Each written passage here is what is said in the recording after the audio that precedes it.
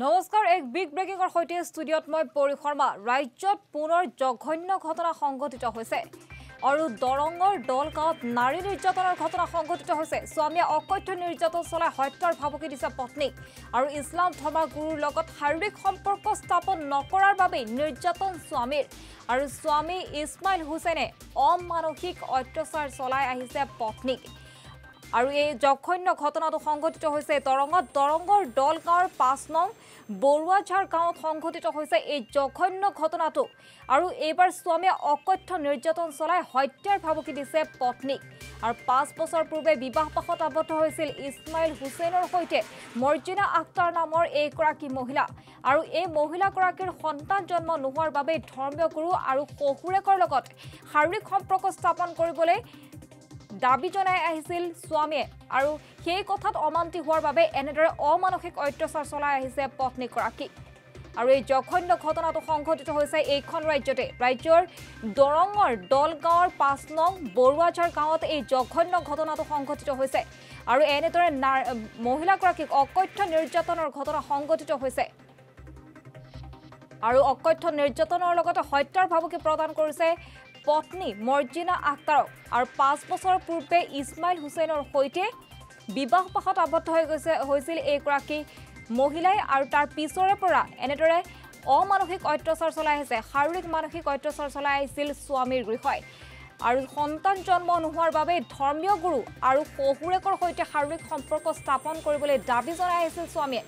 কিন্তু এই কথাত অমান্তি হোৱাৰ বাবে এনেধৰণৰ অমানসিক অত্যাচাৰ চলাইছে মহিলাগৰাকীক আৰু এই সমগ্ৰ ঘটনাই এতিয়া তীব্ৰ চাঞ্চল্যৰ সৃষ্টি কৰিছে। সমগ্ৰ অঞ্চলটোতে লগতে প্ৰতিক্ৰিয়াৰো সৃষ্টি কৰিছে।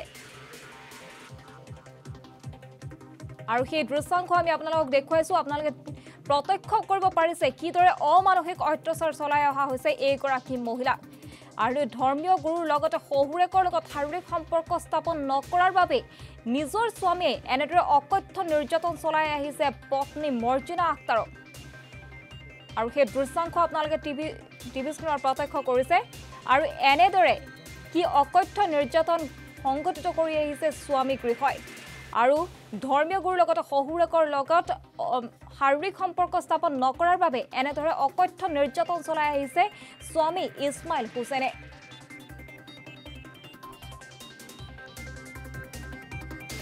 আৰু এই সন্দৰ্ভত মৰ্জিনা আখতাৰে মন্তব্য প্ৰকাশ কৰিছে প্ৰথমতে ঈশান নিউজৰ দৰ্শকসকলক সেই মন্তব্য আমি শুনুৱাই ল'ব বিচাৰিছোঁ।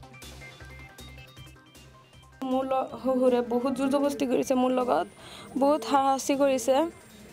হাৰাশাস্তি কৰাৰ কাৰণে মোক বহুত টৰ্চাৰ কৰিছে আৰু ভাবুকি দিছে তই যদি এইবিলাক কথা বাহিৰত কোৱা তেনেহ'লে তোক মাৰি পেলাম। আপোনাক কোনে কোনে মাৰিছে? মোৰ শহুৰে মাৰিছে শাহুৰিয়ে মাৰিছে আৰু মোৰ হাজবেণ্ডে মাৰিছে। কিহেৰে মাৰিছে? বাহিৰে গুৰচি বহুত কিবা কিবি লাঠি। পুলিচক জনাইছে আগতে এজাহাৰ দিছিলোঁ এইখনো আছিল। আৰক্ষীজন মানে পুলিচবিলাকে একো একশ্যন লোৱা নাই সেইকাৰণে মই এতিয়া A D D L F C অফিচত মই এইখিনি এজাহাৰ দিছোঁ আৰু। স্বামীৰ নাম কি? স্বামীৰ নাম ইছমাইল আলী। আপোনাক কি কৰিব বাধ্য কৰিছিল?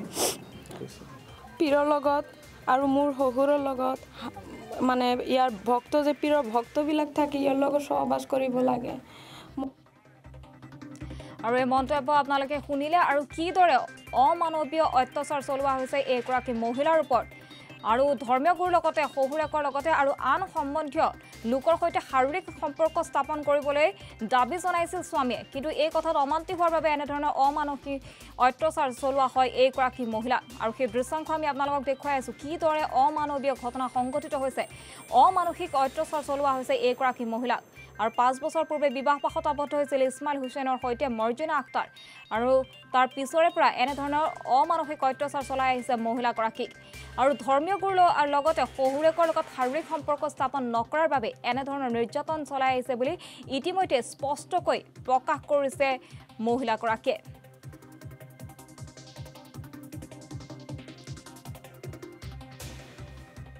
একচুৱেলি মাৰা দাগ নহয় এইটো আপুনি আপোনালোকে ভালদৰে তদন্ত কৰি চাই ল'ব যে এইটো মাৰা দাগ হয় নে কি হয়। দাগ হয়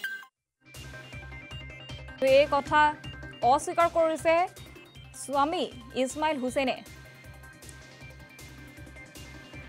আৰু এই ঘটনা সন্দৰ্ভত ইতিমধ্যে আৰক্ষীৰ ওচৰত গোচৰ ৰুজু কৰিছে পত্নী মৰ্জিনা আক্তাৰে আৰু ইতিমধ্যে স্বামী ইছমাইল হুছেইনক আৰক্ষীয়ে গ্ৰেপ্তাৰ কৰি জেললৈ প্ৰেৰণ কৰিছে বুলি জানিব পৰা গৈছে। আৰু সমগ্ৰ অঞ্চলটোত এতিয়া তীব্ৰ চাঞ্চল্যৰ সৃষ্টি কৰিছে এই সমগ্ৰ ঘটনাই। আৰু এনেদৰে অমানৱীয় অত্যাচাৰ চলোৱা হৈছে মৰ্জিনা আক্তাৰক বিয়াৰ পিছৰে পৰা বহুজনৰ লগত শাৰীৰিক সম্পৰ্ক স্থাপনৰ দাবী জনাই আহিছিল স্বামীৰ গৃহৰ পৰিয়ালে। কিন্তু এই কথাত অমান্তি হোৱাৰ বাবে এনেধৰণে অমানসিক অত্যাচাৰ চলাই আহিছে নিৰ্যাতন চলাই আহিছে মহিলাগৰাকী।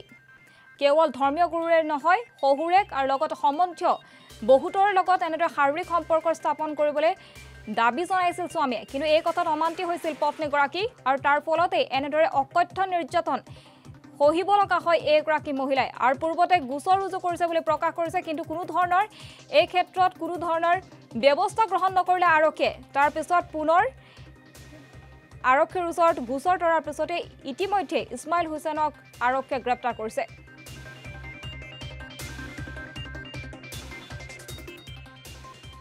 মোৰ শহুৰে বহুত জোৰ জবস্তি কৰিছে মোৰ লগত বহুত হাৰাশাস্তি কৰিছে।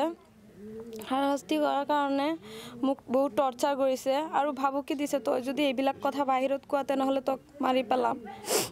আপোনাক কোনে কোনে মাৰিছে? মোৰ শহুৰে মাৰিছে শাহুৰিয়ে মাৰিছে আৰু মোৰ হাজবেণ্ডে মাৰিছে। কিহেৰে মাৰিছে? বাহিৰে গুৰচি বহুত কিবা কিবি লাঠি